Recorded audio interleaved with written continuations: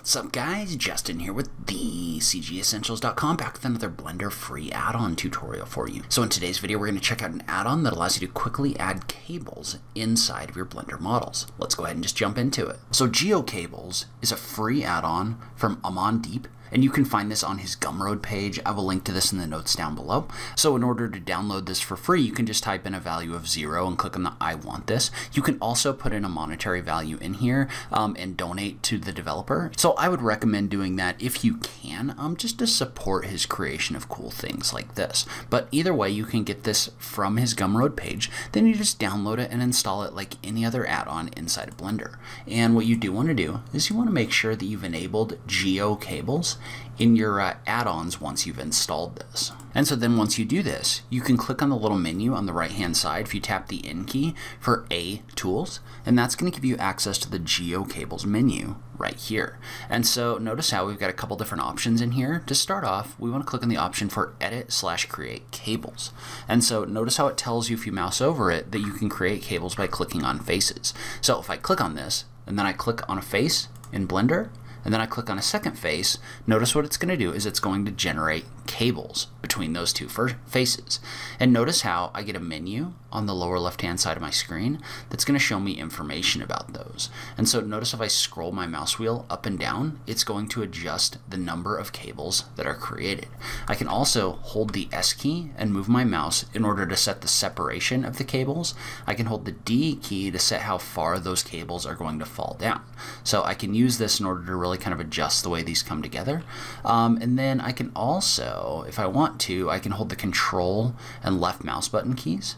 And let's say that we were to rotate around and I'm going to hold control and left mouse button. Notice how that snapped a new endpoint to my curve to the center of this face. If I do it again, it's going to do it again over here. You can also hold the shift key and click to connect to the closest endpoint. You can hold the alt key and click on the left mouse button in order to add a new split. So like for example, if I was to click on this point right here with the Alt key held, notice how it added a split in there and I got additional cables. So I can hold the S key to adjust all of these. Um, so it's really pretty intuitive to use. And then once you're done, you can just right click in order to confirm that. And so the cool thing about this is this is being generated with geometry nodes, right? Even though we've created this, um, I can still adjust these by going into the geometry node settings over here, which I really like because it kind of seems like this is, uh, it seems like this is kind of replacing in a lot of ways the little menus that pop up over here. By the way, this is not going away and I'm not sure why. Um, I'm sure it'll go away if I restart Blender. But um, what we're not getting over here is the little menus that disappear. Instead, what I've got is I've got settings right here that I can use to adjust um, the size of my cables, right? So this is kind of a, I don't want to say non-destructive because we're not really like destroying anything anyway, but it's something where you can come back and make adjustments.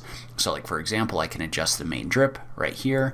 I can adjust the randomness of the drip as well as the seed, so I can kind of randomize that. Then I can control the other things down here as well, so things like my separation. Notice how if I use my separation like this, then um, it's going to adjust that separation the same as it did when we initially placed this.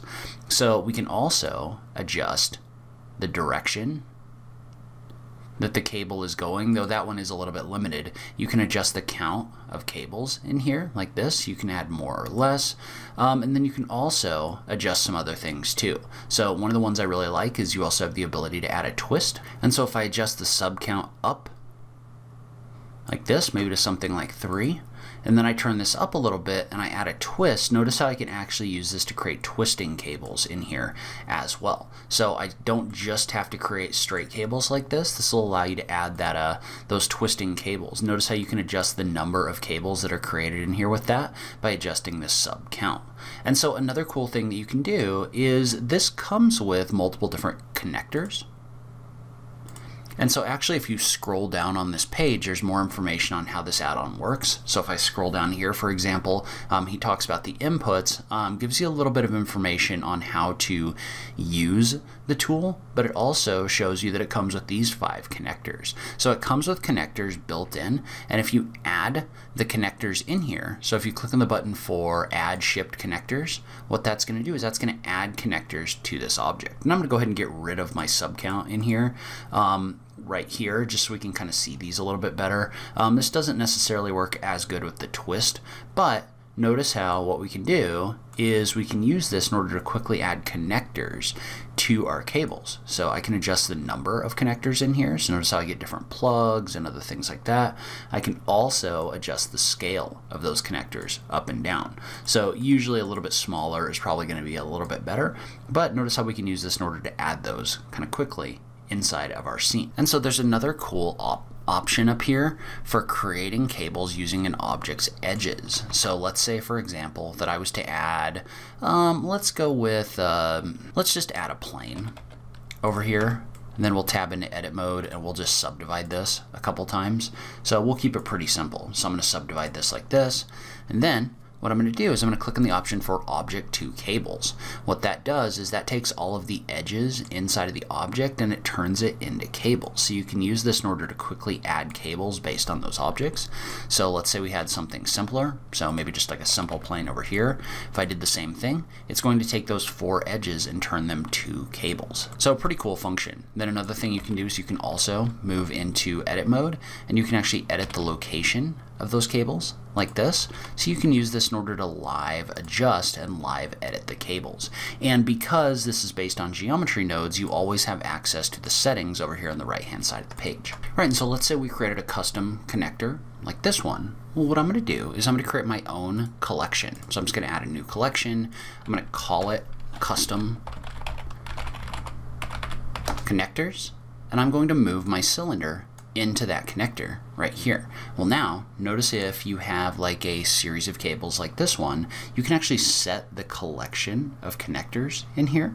So if I click on this and I go to my custom connections and then I add connectors, so I'm going to turn my number of connectors up a little bit, but I can actually add my own custom connectors in here. And notice how I can adjust the seed in order to place where those are on these uh, curves. Note that occasionally you get one of these, it's just kind of on the end and it doesn't align very well. Um, it doesn't happen very often, but you can just adjust the seed so that you don't have any of those inside your scene.